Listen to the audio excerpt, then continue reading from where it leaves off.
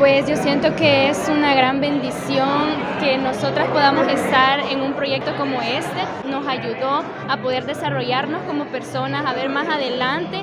Al menos 70 mujeres jóvenes se graduaron del proyecto Casa Torogós, impartido por especialistas en temas de emprendimientos de la Universidad Autónoma de Santa Ana, UNASA. La primera generación del programa fue financiada por la Agencia de los Estados Unidos para el Desarrollo Internacional, USAID, y la organización sin fines de lucro, IREX.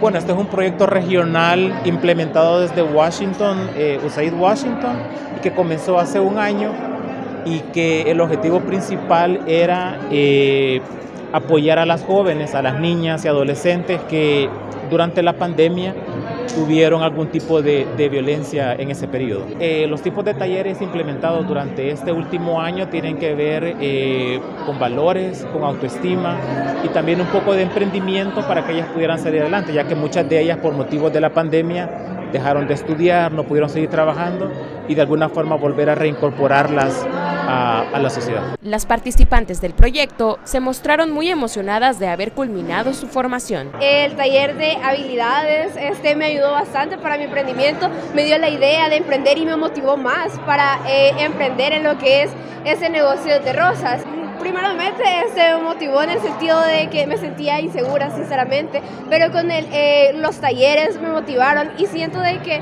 eh, me ayudaron en, en mis técnicas, en mis habilidades para que yo pudiera emprender. A través del programa, UNASA empoderó a 20 mujeres jóvenes entre septiembre de 2021 a julio de 2022 para fundar microemprendimientos con estrategias como el design thinking, uso de herramientas tecnológicas como tablets y kits didácticos de emprendimiento.